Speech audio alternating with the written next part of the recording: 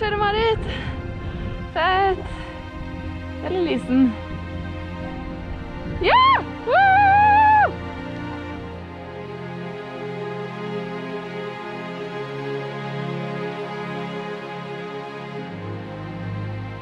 I februar 2019 lå temperaturen 3,5 grader over normalen. Sogn og Fjordane satte varmerekord. For oss, Lisen, Marit og Ida, betydde dette få kalde februardager i Sogndal. Men vi lot oss ikke knekke av den grunn. Marit var alltid positiv, Ida tok seg en bolle, og Lysen var konstant kald. Snøfall i Romsdalen lokka oss nordover, og vi prøvde lykken der.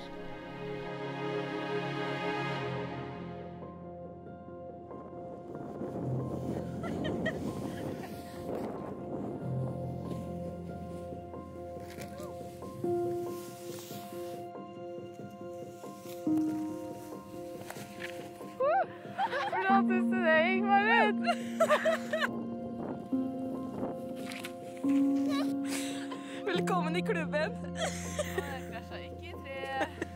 Nei, heldigvis. Eh, Det var kult, da. Det var kult. Ja. Vanskelige forhold preget vinteren. Men de gode dagene ga maks uttelling. Stein, saks, og It's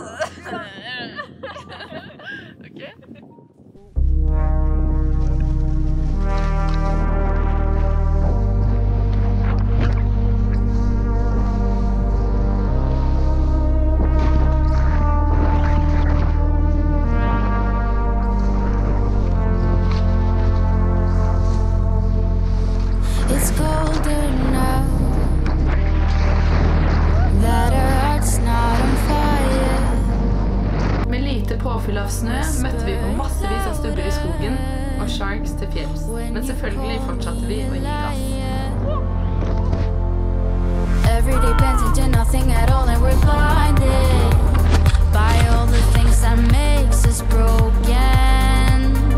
Every day looks the same anyway. Try to find the things that makes us feel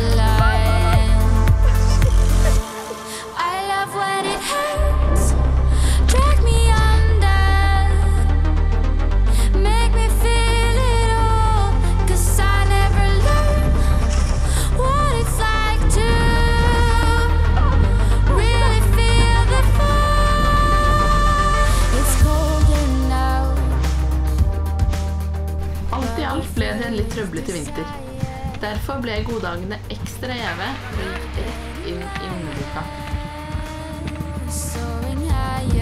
higher. Every day blends into nothing at all, and we're blinded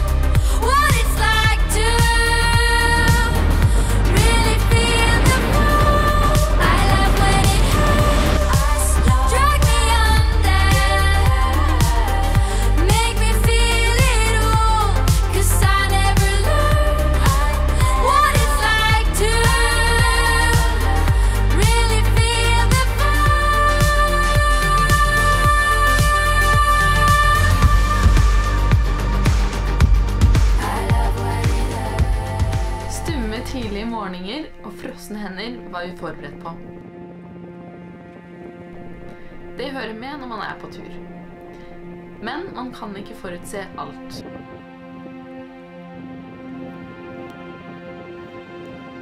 Lisen ble syk og besvimte på toppen av fjellet. Det ble en dramatisk dag til fjells.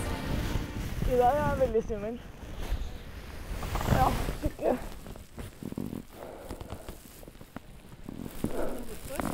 Nei.